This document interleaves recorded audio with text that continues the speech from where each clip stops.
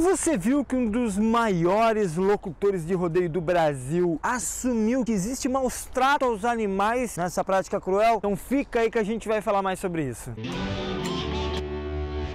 Ah, Matante, e aí meus queridos, tudo bem com vocês? É, eu sei, essa semana foi complexa. Não teve vídeo, deu uma sumida, calma, é que o computador pifou justo na hora que eu tava renderizando esse vídeo aqui, então eu tive que fazer tudo de novo, ok? Antes da gente entrar nesse assunto, você aí, já é inscrito nesse canal? É claro. Ah, bom, era que faltava assistir esse monte de vídeo e ainda não ser inscrito no canal. E aproveita, já deixa aí o seu like para ajudar esse magrelo a ficar postando vídeo toda semana, beleza? Porque isso aí ajuda muito o canal, o YouTube dá uma olhada aqui pra nós, entendeu? Vamos à notícia. Eu mesmo já fui em vários rodeios não falei que esse hipócrita... Calma, troll. Assista até o fim.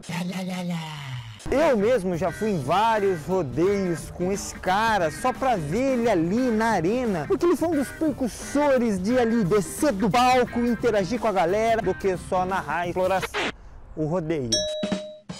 Só para você ter uma ideia do que esse cara já foi capaz de fazer, ele ajudou a eleger um presidente da república, no tipo numa troca, que se ele ajudasse a eleger esse presidente, ele conseguiria apoio para legalizar o rodeio no Brasil. E foi o que aconteceu, ou seja, esse cara foi um dos responsáveis pela legalização dessa prática no nosso país. O esquilo, meu Deus, que, o esquilo pulou, deu para ver, será? O esquilo, meu Deus.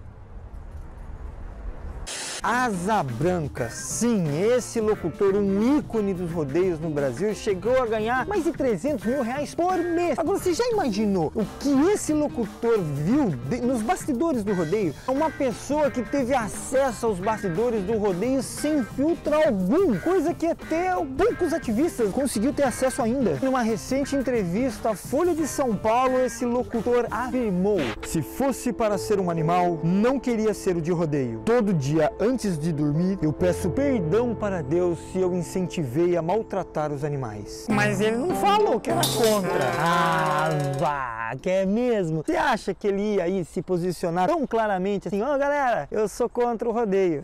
Se for... Lógico que não, o público que consome o que esse cara produz, seja música, é do rodeio. E é esse mesmo pessoal que tá atacando ele nas mídias sociais por conta da sua declaração. Mas você consegue entender o peso que é ter uma lenda do rodeio nacional afirmando estar arrependido de incentivar o maus trato aos animais? Isso abre um leque gigantesco de possibilidades, de argumento, principalmente para aquele seu amigo chato. Você fala daquilo que não conhece! Cara, se o Asa Branca não sabe nada sobre o rodeio, quem é que vai saber? Na verdade, muita gente sabe, todo mundo sabe da crueldade que existe por trás dessa prática. Eu mesmo fingia não ver. E essa afirmação dada pelo Asa Branca só reforça algo que a gente vem falando há muito tempo, que é a fomentação de uma prática que abusa, que explora, que tortura animais sencientes, animais que sentem, como eu, como você. Eu sei, é muito difícil enxergar isso aí. Eu fui assim também. Então eu separei três, não, que rufem os tambores, rufem os tambores. E três fatos rápidos sobre o rodeio para você pensar melhor. Mas são somente oito segundos. Será que são somente oito segundos? Os peões não precisam de uma rotina de treino diária, ou seja, outros animais são usados diariamente para que os peões possam treinar. O que sua fazenda precisava para formar grandes touros de rodeio. Robô Cowboy. Sem contar que se a gente fosse se basear por essa questão de tempo, sabe aquela nada que você dá com o dedinho no canto da mesa? Então não era para doer tanto, porque acontece numa fração de segundo e você nem aplica uma força tão grande. É, você tá caminhando e pum, e dói pra Dois, mas os animais são bem tratados. Mas será que se eles fossem maltratados, tipo não comesse bem, eles seriam capazes de serem explorados ali montado pelo peão? O bom trato é o mínimo a ser esperado. Do tipo, não é só porque eu dou um bom trato pro meu cachorro, por exemplo, que eu posso fazer com ele o que eu quiser. Três, mas o sedem não cutuca, ele é feito de algodão. Mas e se eu disser para você que o sedem ele não foi feito mesmo para cutucar, e sim para comprimir?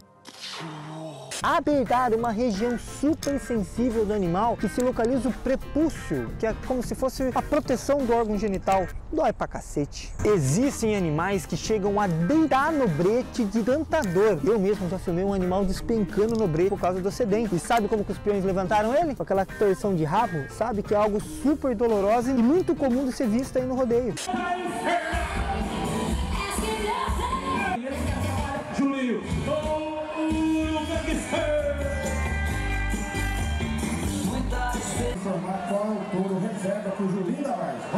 Antes de você aí no comentário destrinchar um monte de coisa, me xingar e o caramba quatro, te dê uma oportunidade de pensar sozinho, de analisar esses dois lados da situação, principalmente o lado do animal, como eu fiz. Eu era uma pessoa assim que ia em rodeio, em romaria, eu vivia a fundo essa vida e eu sei do que eu tô falando. A gente não consegue enxergar algo óbvio. Eu até já contei essa história de como tudo aconteceu lá no canal Vegflix, eu vou deixar aqui no link não, eu vou deixar o link aqui na descrição do vídeo para você entender melhor como é que foi esse meu processo de caramba, eu estou financiando tudo isso. Mas para isso acontecer, você aí e eu aqui, nós vamos ter que rever os nossos hábitos, repensar os nossos conceitos, mas mudar, fazer alguma coisa hoje. Só não seja indiferente.